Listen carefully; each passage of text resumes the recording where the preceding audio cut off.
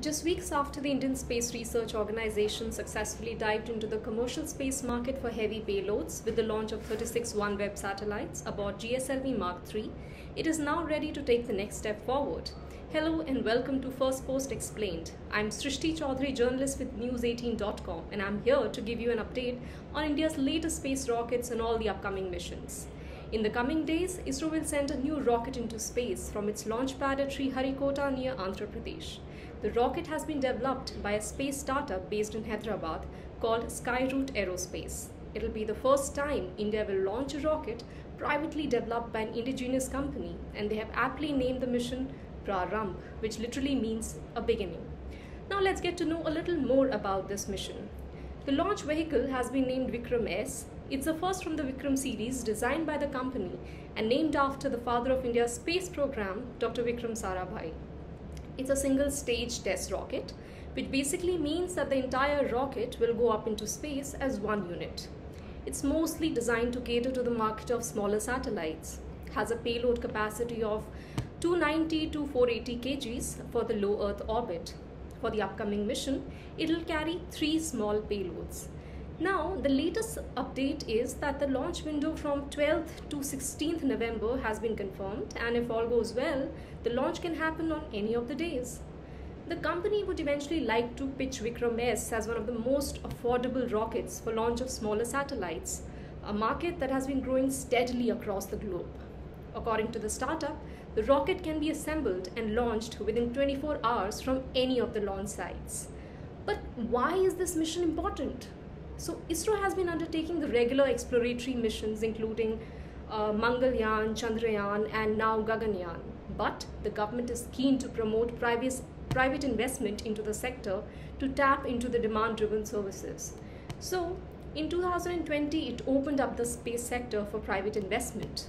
In fact, Skyroot was the first startup to tie up with ISRO. And since then, as many as 60 startups have registered with ISRO thanks to the efforts made by its commercial arm, New Space India Limited, and support from InSpace set up by the government to boost the private space economy in India. In fact, the OneWeb mission that the agency recently undertook in October was the result of one such commercial arrangement. Also, there has been a lot of focus on pitching ISRO or India's space capabilities as one of the most cost effective options for global players to inject a satellite into space. This is also the reason why ISRO had decided to launch its own SSLV rocket and tested it for launch in August this year with an Earth observation satellite. Though the vehicle had a perfect liftoff, the mission could not succeed and satellites were rendered non functional. To just give you a brief account, India has been providing launch services for customer satellites since 1999. But now it really wants to scale it up. There's a huge demand for launch of smaller satellites less than 500 kgs, which require less turnaround time and minimum infrastructure. Then it has it it has its old workhorse, the four-stage versatile PSLV, which has been ISRO's go-to vehicle for almost all its launches since its maiden mission in 1993. The medium lift launch vehicle, which was also used for Chandrayaan 1 in 2008 and Mangalyaan in 2013, has launched as many as 345 satellites from as many as 36 countries. It's the most reliable rocket out there. In 2017, it launched 104 satellites in one single mission. Third is ISRO's heaviest launcher, meant for mostly communication satellites.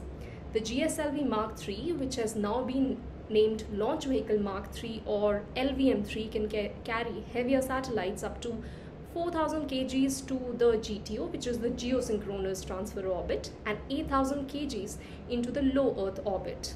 The last mission with OneWeb was a successful demonstration of the rocket, which carried its heaviest payload of nearly 6,000 kgs. And guess what? It is gearing up to launch another set of 36 more satellites of OneWeb very soon. The 43 meter tall GSLV will also be used for Gaganyaan, India's first human space flight.